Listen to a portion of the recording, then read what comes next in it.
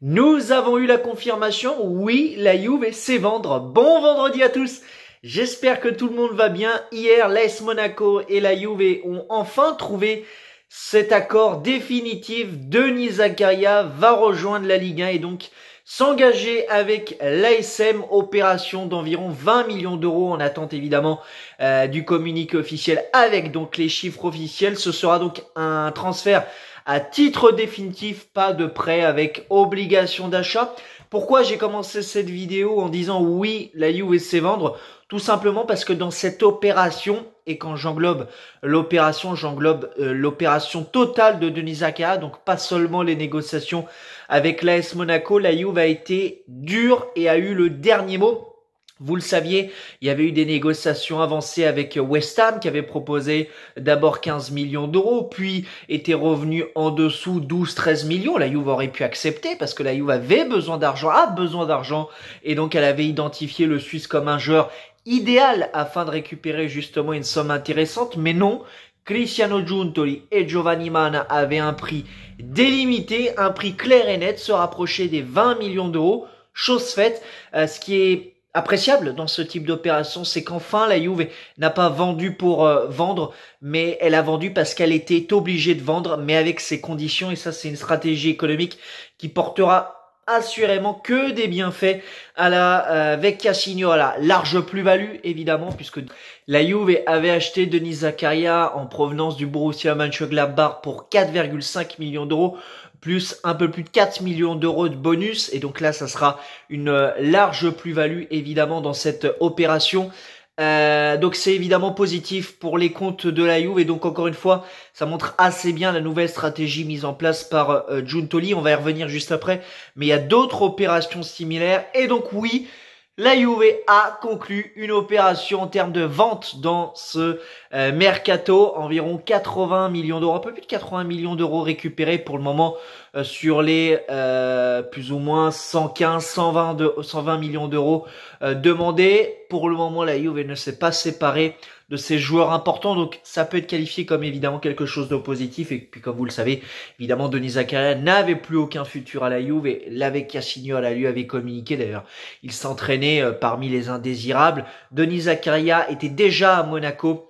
Euh, hier, il avait déjà quitté le, Piémont et donc il passera ses visites médicales euh, dans les prochaines heures afin donc de devenir un nouveau joueur euh, monégasque. Donc voilà, bonne chance à Denis Zakaria dans son euh, nouveau championnat. La Liga, il n'aura aucune difficulté évidemment au niveau de la langue puisque la principale langue la, la, la, langue de Denis Zakaria, c'est le français. Donc voilà, il va pouvoir découvrir le sud de la France avec cette principauté Parlons d'une autre opération où la Juve tient dur, où la Juve est coriace. Luca Pellegrini, comme vous le savez, lui aussi ne fait pas partie des plans de Max Allegri. Il n'a pas participé à la pré-saison. Il ne fait pas partie des joueurs qui euh, seront présents en cas évidemment de présence pour la première journée face à l'Oudinez. Et bref, il est, si on peut appeler ça le loft, euh, comme diraient certains en parlant du Paris Saint-Germain. Euh, il est avec les Leonardo Bonucci, avec justement Denis Zakaria et Tutti Quanti. La Juve a reçu des euh, offres, des intérêts de la part de pour Luca Pellegrini. Il y a eu le GC qui a montré un intérêt. Il y a eu Everton en euh, Première Ligue, mais le club qui pour le moment est le plus chaud, qui est revenu dans la course à la Lazio, les amis. Je vous avais dit il y a une semaine que la Lazio était fortement intéressée, mais voilà que la Lazio s'était pas un peu retirée de la course. Les Laziales sont, les sont revenus et Luca Pellegrini a fait passer un message clair à la Juve et à son agent. Moi, je veux la Lazio, raison pour laquelle la Juve tente de satisfaire la demande évidemment du jeune latéral italien. Pourquoi la Juve tient dur dans cette opération? C'est que pour le moment, il y a eu des offres pour Luca Pellegrini, mais largement, largement trop basses. La Juve espère récupérer plus ou moins entre 10 et 12 millions d'euros à titre définitif. Quelles sont les nouveautés?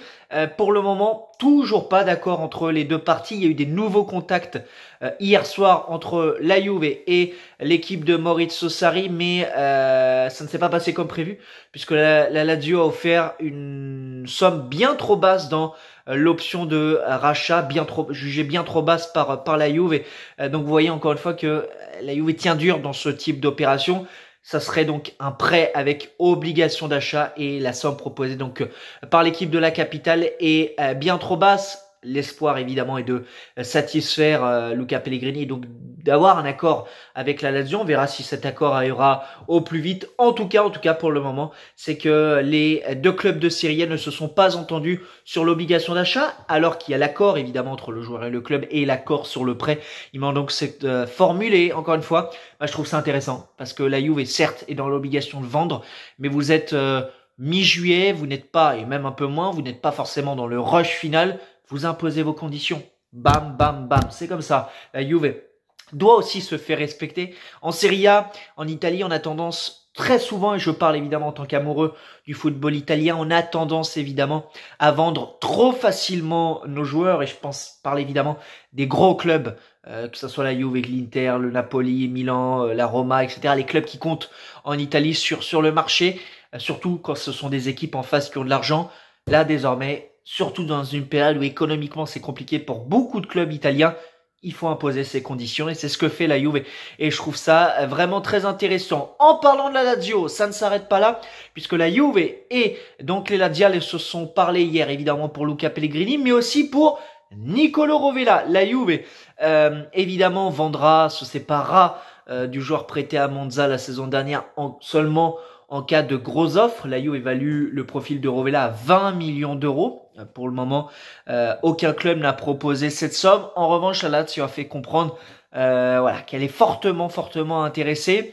On verra si un accord sera trouvé. Même discours, la ne se séparera pas facilement de euh, Nicolo Rovella. La volonté de la Lazio est un prêt avec obligation d'achat, évidemment puisque pour le moment, il y a, de ce que j'ai compris, il n'y a pas la volonté de dépenser du cash et donc d'acheter à titre définitif euh, le milieu italien. Personnellement, je pense que Nicolo Rovella dans le milieu de la Juve, ça ne serait pas trop, et ça serait une bonne nouvelle pour la Juve de le garder. Maintenant, il va falloir comprendre un petit peu au milieu de terrain la stratégie hein, de la Juve, parce que j'ai la sensation à l'heure actuelle qu'il y a énormément d'évaluations. Voilà, on a analysé le Camiretti, Hans Nicolosi Caviglia euh, il y a quelques jours, mais comme vous voyez, sont encore, ce sont encore des joueurs de la Juve. Donc peut-être qu'il y a de l'évaluation de la part de Max Allegri de prioriser certains joueurs plutôt que d'autres.